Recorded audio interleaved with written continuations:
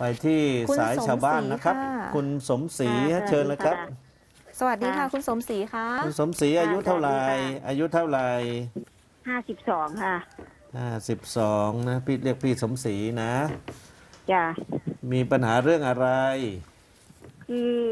หลานอยากจะมีบัตรประชาชนเขาไม่มีบัตรประชาชนนะจ๊ะอายุเท่าไหร่คนนั้นน่ะชื่ออะไรหลานน่ะ ชื่อนายประทีปจ้ะอายุประสามทีสิบป ปี ประทีปสามสิบปี มีพ่อมีจ้ะแม่ไหม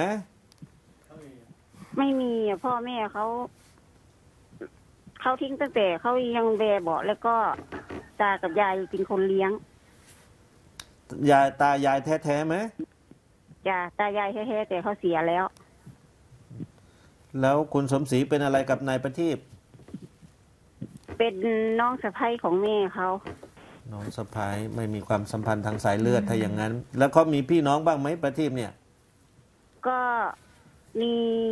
มีน้องของแม่เขาอะจ้ะที่เป็นแทนที่เป็นแทนของฉันนะจ้ะอ๋อแล้วประทีปนี่เขามีพี่น้องไหมท้องเดียวกันน่ะมีไหมอืมไม่มีมั้งมีแต่เขาไม่ยุไม่รู้เขาไปไหนหมดมีแต่คน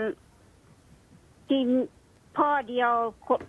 เอ้ยคนละพ่อแม่เดียวกันนะมี แต่ไม่รู้เขาไปไหนแตกแยกกันไปไหนหมดไม่รู้ อ่าถ้างั้นมันก็สืบสาวราวเรื่องได้เนี่ยที่พูดเนี่ยนะ มันสืบสาวราวเรื่องได้ ว่าเขาก็จ้ะ มีพี่น้องร่วมบิดามารดากันใช่ไหมจ้ะแล้วถ้าพี่พี่น้องร่วมบิดามารดาเนี่ยเขามีทะเบียนบ้านเนี่ยนะครับ อันเนี้ยมันจะทำให้คุณประทีปเนี่ยโอกาสจะไปขอทำบัตรประชาชนมันก็ง่ายขึ้น คือสืบสาวราวเรื่องได้ ค่ะ แล้วเขาเรียนหนังสือไหมประทีปเนี่ย ไม่ได้เรียนเลยจ้ะคือคือว่าฉันจะเอาเข้าทะเบียนบ้านของฉันเลยจ้ะ ก็ไม่ได้เรียนอ่ออยู่อำเภออะไรสกลนครครับจ้ะอำเภออยู่วานอนนิวาสวานอนนิวาสนะ เดี๋ยวเราส่งให้ทางพัฒนาสังคม ศูนย์ช่วยเหลือคนไร้ที่พึ่ง ที่ค่ะจังหวัดสกลนครนะครับ ลงไปให้ความช่วยเหลือพาไปติดต่อที่อำเภอวานอนนะจ้ะนะครับ เดี๋ยวนะทีมงานค่ะคุณหลุยนะอ่าให้พมเนี่ยนะครับ ไปลงไปที่บ้าน แล้วก็นำไปที่อำเภออมนะครับ แล้วก็ต้องสืบสาวเราเรื่องจะบอกว่าพี่น้องเขาไม่รู้ไปไหนแล้ว มันต้องตามอะ ถ้าจะต้องให้ใครคนหนึ่งคนใดได้มีบัตรเนี่ยนะ มันต้องสืบสาวราวเรื่องแหละ ไม่งั้นมันจะกลายเป็นการสวมสิทธิ์กัน เจ้าหน้าที่เขาจะไม่ทำให้อะนะ ค่ะ ตามตามตามได้แต่แต่น้องแม่เขาอยู่อยู่ที่นี่ แต่ว่าถ้าจะให้ตามอย่างน้อยก็ยังตมีได้ความสัมพันจ้ะธ์ทางสายเลือดอยู่นะ แม่กับจ้ะน้องแม่ก็ DNA ก็ต้อง นะค่ะนึกออกไหมมันก็ยังจ้ะมีทางความมันอันนี้ต้องตรวจ DNA อะความสัมพันธ์นะ เพราะว่าถามว่าเรียนหนังสือไหมก็ไม่ได้เรียนอืมเออสามสิบปีแล้วเนาะนะอืมตรวจคุณสมศรี DNA รอที่บ้านเดี๋ยวเดี๋ยวจะให้ทางทางศูนย์ช่วยเหลือคนไร้ที่พึ่งลงไปที่บ้านนะ คุณสมศรีนะค่ะเบอร์โทรศัพท์เบอร์คุณเบอร์อะไรครับศูนย์แปดศูนย์ครับหนึ่งเจ็ดหนึ่งครับห้าแปดสองเจ็ดห้าแปดสองเจ็ดอยู่วานอนตอนนี้เป็นไงเอ่อ ทำนาไหมทำจ้ะขายข้าวหรือยัง ยังไม่ได้เกี่ยวเลยว่าจะเกี่ยววันที่สิบห้าเนี่ยรู้ไหมได้ได้ประกันส่วนต่างรู้ไหมรู้ไหมก็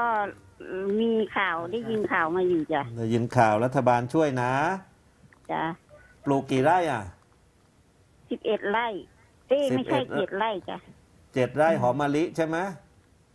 ข้าวเหนียวมีแต่ข้าวเหนียวอย่างเดียว อ้อปลูกข้าวเหนียวเจ็ดค่ะไร่เจ็ดไร่ข้าวเหนียวเจ็ดไร่ก็น่าจะได้ประมาณข้าวเหนียวสักสามตัน ประมาณนั้นนะ